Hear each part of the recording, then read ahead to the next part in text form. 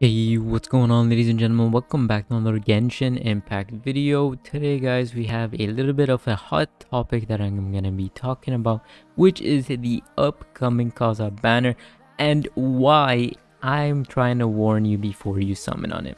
Let me just explain real quick.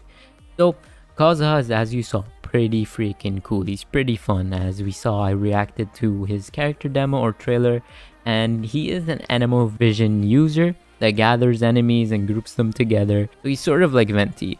But before we get to comparing the characters or whatever they are, I just wanted to say thank you guys so much for supporting the channel. Please consider liking this video and subscribing to the channel if the content you see is the one you're looking for.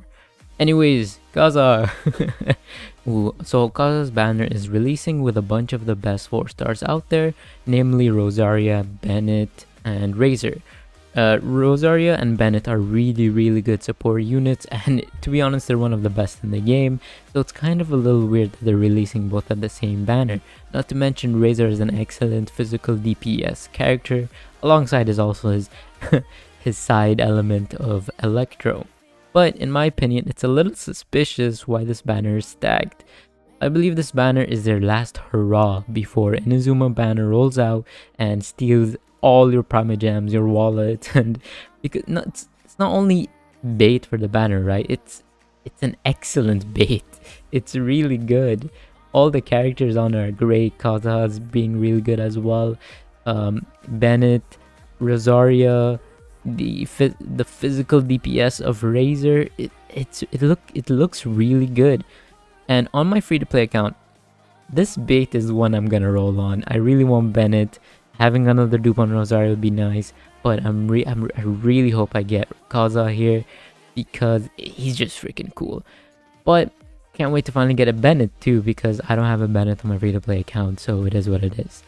Moving on, I also wanted to say this banner is too good that it makes me think that the next banner coming isn't just special, it's the big one. It's a banner that's gonna, you know, change the game. You know, it's the first Inazuma, like not the first Inazuma because Kazuha the first Inazuma, but the first character that's going to be released while Inazuma is out. And maybe they're going to have a bunch of 4 stars that we haven't seen. Maybe like 4 stars that aren't released or haven't been leaked or whatever it was. Hopefully um, it's some brand new content because I do not want to see any leaks because I'm just really excited for Inazuma. Anyways, what makes me think it's special is because this one is way too stacked. So as you guys saw on Twitter, um, Genshin Impact showed characters such as Ayaka, Sayu, and Yoimiya. And what if, you know, they're on the next banners? They're going to release them one after the other. This makes this Kazuha banner very skippable. because those characters that are going to be coming out, I I just, I want one. I really want one. So, yeah. And not to mention those three characters only, but there's going to be an anniversary banner every gacha game I've played has an anniversary and they have an anniversary event. If Genshin Impact does not have an anniversary event, I'll be extremely surprised because every gacha game has an anniversary event and especially the biggest gacha game on the entirety of this planet has no anniversary event. It's kind of a little bit weird. So one of my subscribers also mentioned this in the last video that it's a bait banner and I 100% agree with them. It's fantastic bait actually and I can't wait to roll on the bait to get Kazuha. Uh, hopefully I do at least. Anyways, on my main account, I'm skipping. The biggest skip ever.